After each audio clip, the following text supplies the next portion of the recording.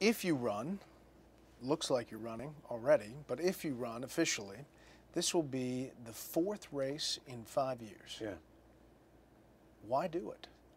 Well, for the same reasons I got in the race for governor more than five years ago. Uh, I sat down and talked with my wife, thought about it, prayed about it, and in the end, we knew it would be difficult just running for governor in Wisconsin, a very blue state.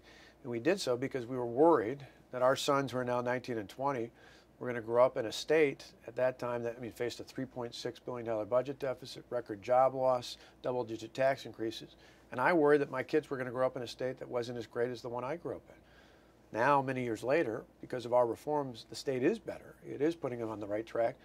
But I look at America today, particularly in Washington, and I see a federal government that gives me the same worries for my sons and, and their generation and future generations.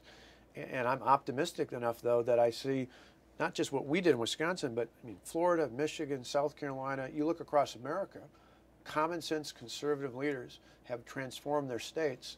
With that kind of leadership, we can transform America again.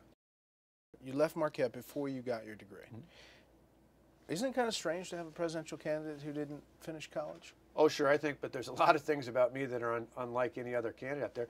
I mean, the bottom line is, uh, like a lot of Americans, my senior year, I was working at IBM. They moved their office to Chicago. One of my clients was the American Red Cross. They offered me a job.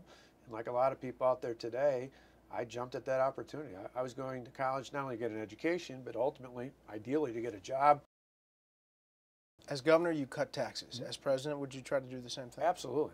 I think you've got to have a, a pro-growth, a pro-reform, and a pro-security uh, platform if, if, you're going to be effective as the, the next leader of this great country. And part of that means reducing the burden on hardworking taxpayers. Let me talk to you about education. Mm -hmm. You're against Common Core. Mm -hmm. Why? Because to me, I think high standards are great, but they should be set by people at the local level, not by people from outside of individual states. Do you think people understand the Common Core? I mean, the defenders of Common Core say it's not as evil as everybody is portraying it. Do you think that's fair? Well, I think the idea of high standards is legitimate. I think, like many things that get touched in Washington, it's been corrupted along the way, where through, uh, even though they'll say it's not a federal mandate, the reality is it's not the same as No Child Left Behind, but the federal Department of Education has added all these strings attached tied into federal dollars so that local government, local school boards are ultimately forced to deal with much of those things, even if that's not the decision they would make. It's why I argue overall with education, transportation, healthcare, I would take that money out of Washington and send it right back to your local community so you can spend that in your school district on the things that you think are priorities within that school district. In Wisconsin, in our case, long before Common Core, we had some of the best scores in the country. Why?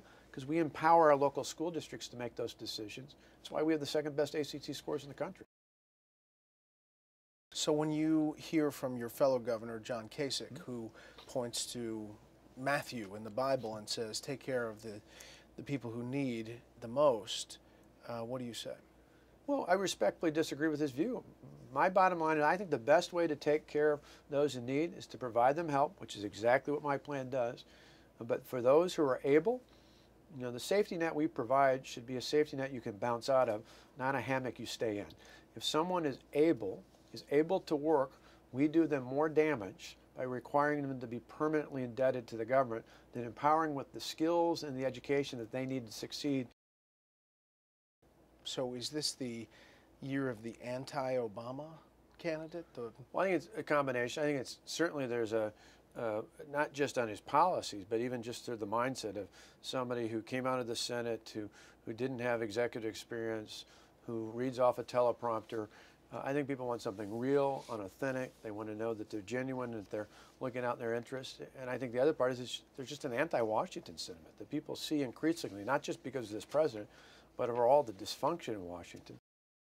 President Obama and his team believe the war on terror is over. Um, that the United States should be taking a law enforcement approach, essentially, uh, to challenge what they say violent extremists. Mm -hmm your reaction to that? I think they're hugely out of touch. I think when you look at this and you look at uh, an administration that called ISIS the JV a year ago, that lifted up Yemen, that talked about other spots around the world as uh, visions of, of success. Heck, under Secretary Clinton, an administration that said there was a reset with Russia. Uh, in each of these instances, you see uh, a, a current administration under this president and his former and current Secretary of States who say things that, that end up ultimately not matching with reality. That's part of the problem we have with credibility in the world that we're willing to take action. You've said in the past you relied on Jeb Bush for advice. Um, you considered him a good governor in Florida. Um, he appears to be running. Why challenge him? Well, I'm not running against Jeb Bush if I'm running. Uh, in the end, if I end up being a candidate, uh, I'm going to be a candidate because of what I think I can offer the American people uh, for the sake of, like I said, my sons and their generation and how we can make this a better country for everyone, not just for one group or another.